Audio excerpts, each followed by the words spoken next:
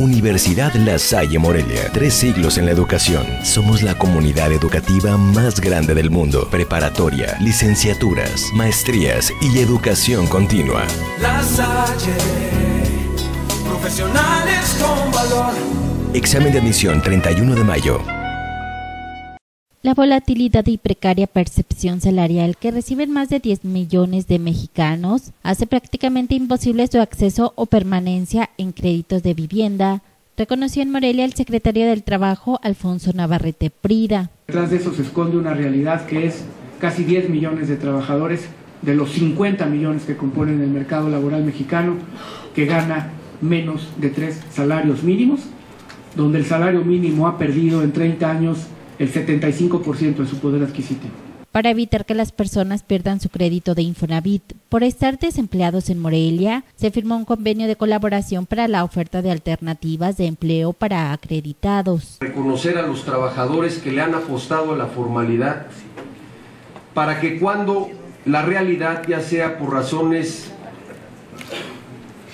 internas o externas, ahí otra vez esté el Sistema Nacional del Empleo si es que perdieron su empleo o, tuvieron algún ajuste en su salario para que rápidamente puedan incorporarse a la vida formal de México. Primera, de que no tenemos un sistema claro de certificación de habilidades y de capacitación. Segunda, que eso genera una gran volatilidad en el empleo, por eso cambian tanto de trabajo. Y tercera, que al no estar capacitados y certificadas sus habilidades, su ingreso es bajo. Ese es parte del reto que tiene la política laboral mexicana. En este marco de la firma de este acuerdo, el gobernador del estado Fausto Vallejo Figueroa destacó la mejoría que en materia de seguridad ha demostrado la entidad con la llegada de las fuerzas federales. A 110, 12 días de trabajo, obviamente Michoacán está, está cambiando y está cambiando para bien.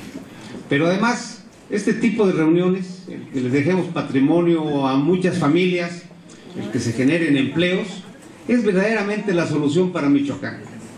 Se está estabilizando en cuanto a la seguridad, pero para que sea permanente, tenga más vigencia la seguridad en Michoacán, se requiere la generación de empleos, el bienestar de las familias. Este convenio evitará que cientos de personas que quedan desempleadas pierdan su vivienda. Con información de Sandra Sáenz, informa Cuasar TV.